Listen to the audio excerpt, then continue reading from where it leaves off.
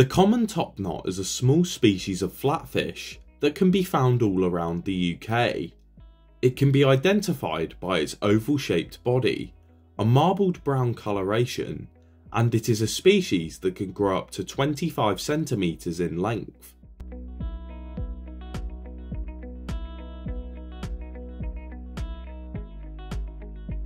The common top knot is the only kind of flatfish that lives exclusively on rocky or broken ground, rather than the sandy ground that most flatfish prefer. Because of this sediment preference, they are often found in rock pools and other shallow waters.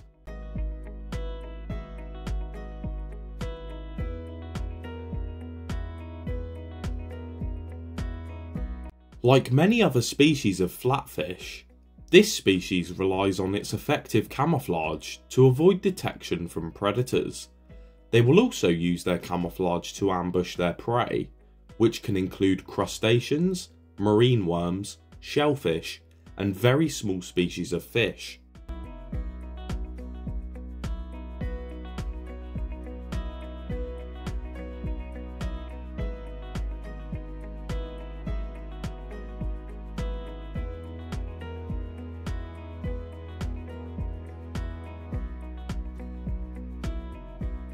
The common top knot is widely distributed throughout British and Irish waters, only being absent in small areas on the east coasts of England and Scotland.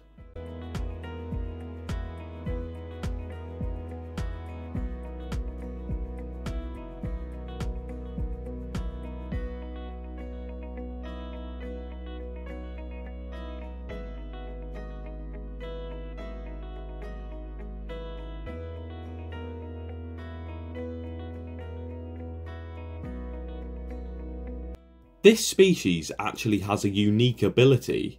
It can cling to vertical rocks using suction power and even stay upside down on overhanging rocks and on the inside of caves.